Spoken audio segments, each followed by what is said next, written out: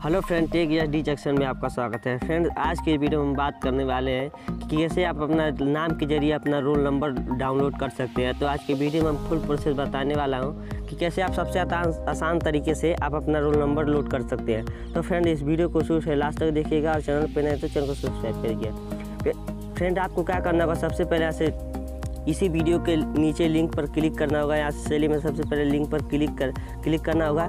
Click करने के बाद यहाँ से देख सकते हैं, माध्यमिक शिक्षा परिषद वाले जब लिंक पर क्लिक करेंगे तो यहाँ से माध्यमिक शिक्षा परिषद वाली आपको वेबसाइट खुल के आ जाएगी। खुल के आने के बाद यहाँ से आपको उसी पर टैप कर देना है। यहाँ से जब टैप कर देंगे, अब आपको क्या करना होगा, यहाँ से थ्री डॉट पर क्लिक करके यहाँ से आपको देख सकते हैं डेस्कटॉप साइड वाले ऑप्शन पर एक बार क्लिक कर देना होगा। क्लिक करने के बाद फिर यहाँ से देख सकते हैं, आपका अपना हाई स्कूल यानी क्लास टेन का आप रोल नंबर लोड करना चाहते हैं तो कैसे लोड कर सकते हैं? तो यहाँ फिर इसको हल्का सा जूम कर लेना होगा।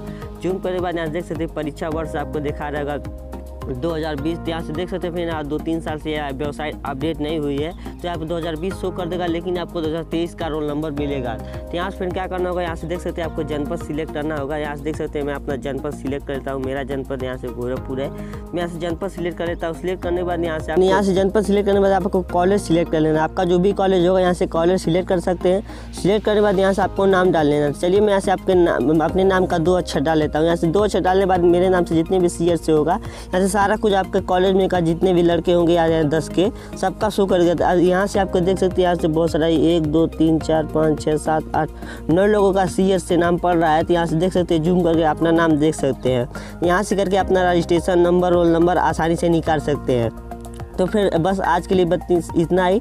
ये वीडियो कैसा लगा कमेंट में ज़रूर बताएगा वीडियो अच्छी लगी हो तो लाइक कर दीजिएगा। मिलते हैं अगले वीडियो में।